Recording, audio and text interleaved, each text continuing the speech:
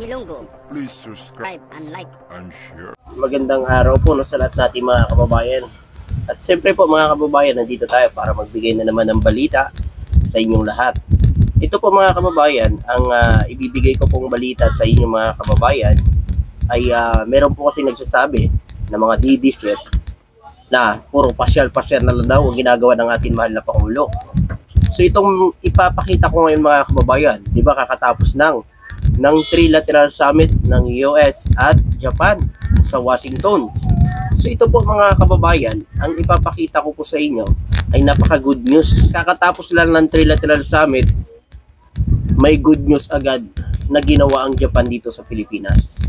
At ayon naman dito mga kababayan, bago yan, siyempre unahan muna natin to, ang ah, patuloy na paninira sa ating mahal na Pangulo. Gusto ko lang magkomento dito guys, ang patuloy na ginagawang paninira ngayon ng mga Duterte sa Marcos Marcos administrasyon.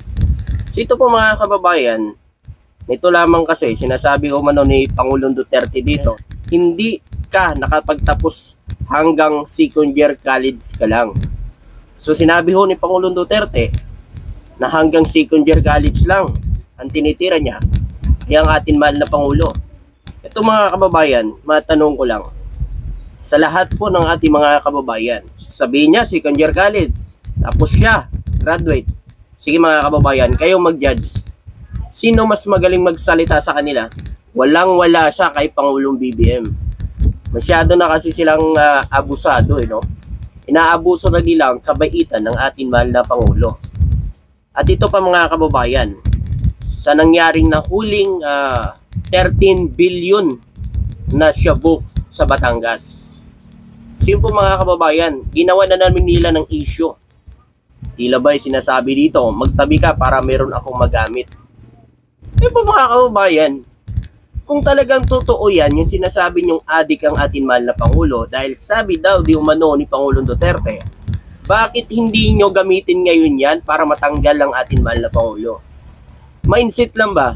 Ito kasi ng ating mga kababayan, puro pinagsalita lang si Pangulong Duterte, naniniwala na sila. Ito lang po, ano, sa lahat nating mga kababayan, katulad niyan, nahuli ang ah, 13 billion na shabu sa Batangas.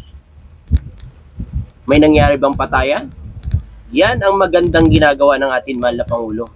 Tinutuloy ang paghuli ng mga drug poser dito sa bansa. Hindi mga small user. Hindi user lang ang nahuhuli, kundi ang pinaka mga malalaking, yung mga nagtutulak talaga dito sa bansa natin. Yan, inuuna ng ating mahal na Pangulo. Tingnan nyo mga kababayan, marami nang nahuhuling mga nagtitinda ng droga pero wala hong nangyayaring patayan. Siyempre mga kababayan, makabayan ng ating mahal na Pangulo, umaasa na tayo, pag tayo ay nagkamali, ay pagkakataon pa na para magbago. Hindi kamatayan ang parusa sa nagkamaling tao. Dahil lahat naman tayo mga kababayan may ginagawang kamalian. Huwag kang magmalinis dahil lahat tayo ay may ginagawang kamalian. Yun nga lang sila kasi mga kababayan, sobra na ang pagkakamali nila. Pero may pagkakataon pa para magbago. Tapos ito, ginagawa na ng issue ng mga DD ang ah, pagpunta ng ating mahal na Pangulo doon. Eh sino gustong pumunta doon? Sino ba gusto nyong pumunta? Si Pangulong Duterte? Siya ba gusto nyong pumunta doon? Bakit? Siya pa rin ba ang presidente? Kaya gusto niyo siya ang pumunta doon?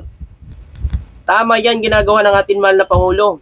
Inuhuli ang pinakaugat ng nagtitinda dito sa bansa natin. Hindi lang user ang nahuhuli. So ito pa mga kababayan. Dito tayo sa pasyal-pasyal na lang daw si Pangulong BBM. Ayon sa kanya. Okay. Bakit? Dahil hindi yan nagawa dati. Ang pasyal-pasyal ni Pangulong BBM, hindi niya nagawa dati yan. Nung panahon niya. Kasi hindi niya alam yan. Mga kababayan. Ang magdala ng mga mayayaman negosyante at manghikayat sa ibang mga bansa para mag-invest dito sa Pilipinas, hindi yan nagawa ni Pangulong Duterte. Kaya inggit na inggit sa dahil si Pangulong BBM Lam ang nakaisip niyan. Siya lang ang presidente na nakapagdala ng mga marayaman negosyante dito at pinagkatiwalaan ng mga mayayaman negosyante sa ibang bansa. Tapos sasabihin niya, pasyal-pasyal lang. Ito mga kababayan, pasyal-pasyal, pero may bunga. 'Di ba? May nangyayari. Hindi kaya hindi katulad niya dati sa kanya. Hindi nga siya namamasyal, nangungutang naman. Ang laki ng utang na iniwan. O tama, marami siyang napagawa. Tama naman yon. Pero dapat, ngayon, maganda naman ang ginagawa ng administrasyon, bakit hindi niya sinusuportahan? Dinidipindihan pa nga siya ni Pangulong BBM. Pero yung mga kababayan, kahit anong gawa niyang paninira kay PBBM bilang isang presidente, hindi pinapayagan ang ICC na makapasok dito sa bansa.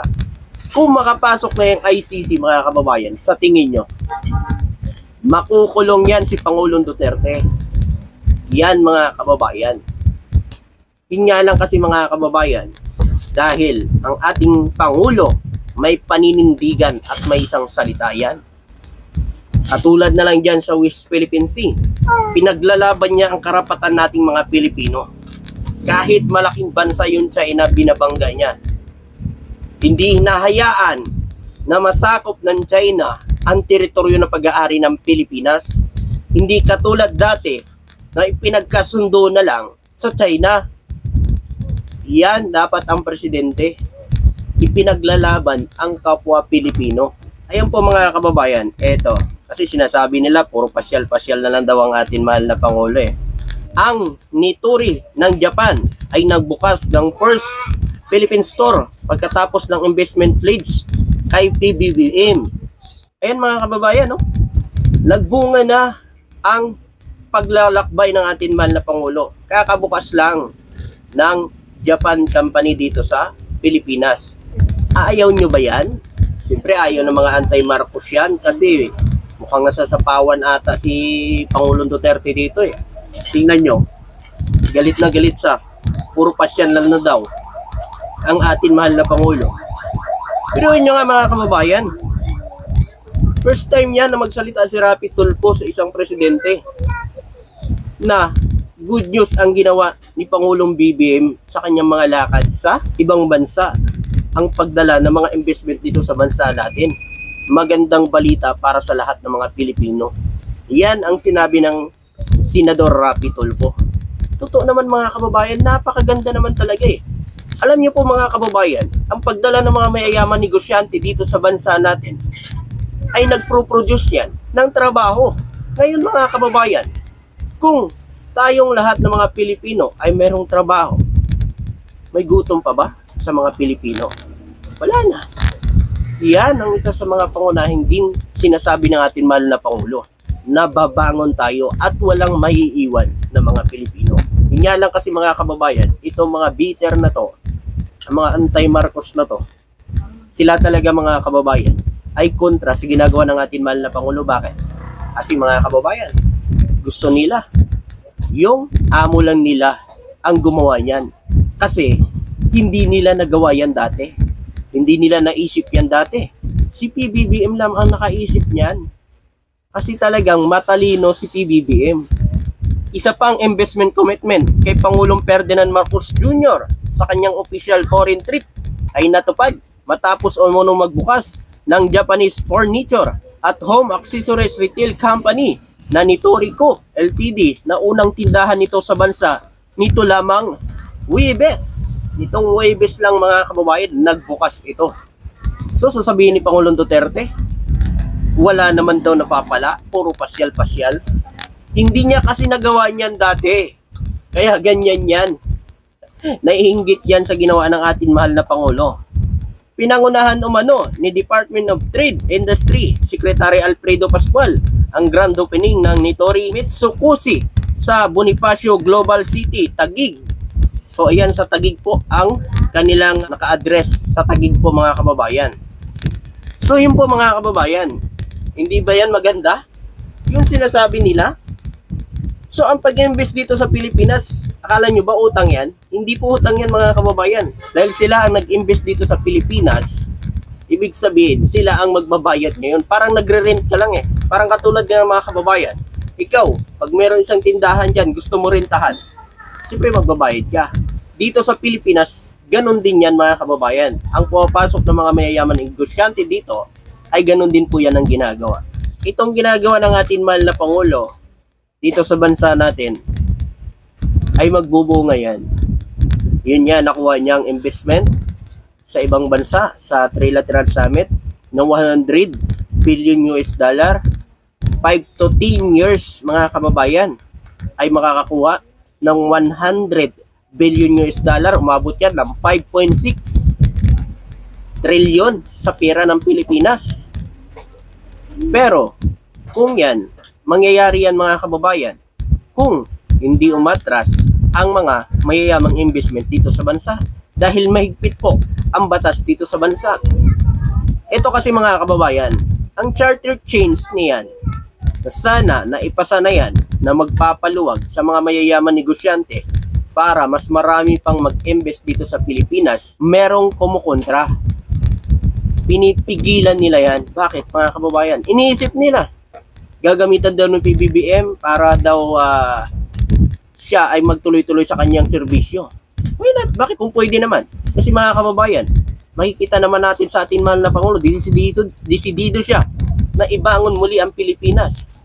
Malay nyo, sa kanyang ah, administrasyon ay muling magbangon ang Pilipinas natin.